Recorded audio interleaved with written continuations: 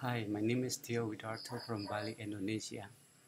I would like to thank to Agora for choosing my photo as one of the top 50 portrait 2019.